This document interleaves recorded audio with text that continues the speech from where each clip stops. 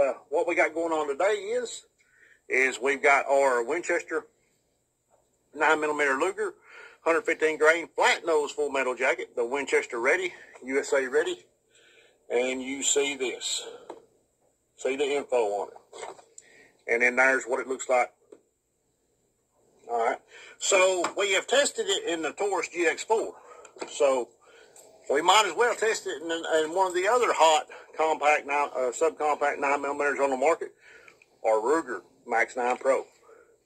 So we're gonna find out if it runs, and we're gonna try to hit that middle silhouette and see what she'll do. So here we go, folks. All right, I've covered up the old marks on that little silhouette in the middle, little red as I call her, and uh, or it, whatever, you know, just a little red silhouette. All right, and we're gonna we're gonna see if this stuff works out of the Ruger Max 9 Pro. Here we go.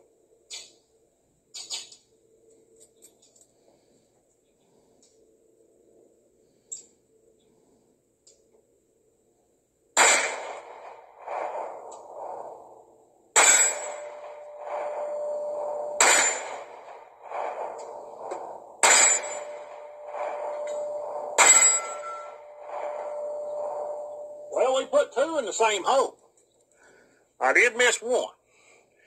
But out of the four we hit it with, we put two in the exact same hole. So, not bad accuracy out of it.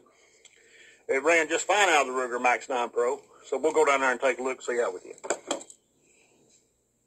Like I said, those two on the bottom, right there, that was the same hole. I hit the same hole twice. And then we hit one, and that's about where I was kind of aiming at. And uh, then we hit the one up top with the headshot. But, you know, uh, four good hits on there.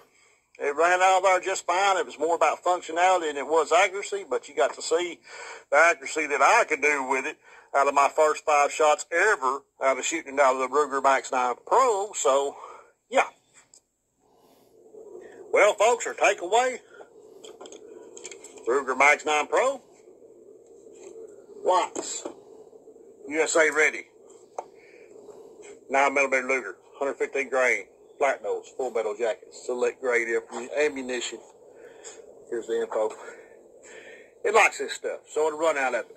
So, if you see it somewhere and you see it reasonably priced and you're needing some range ammo, it'll probably do pretty good.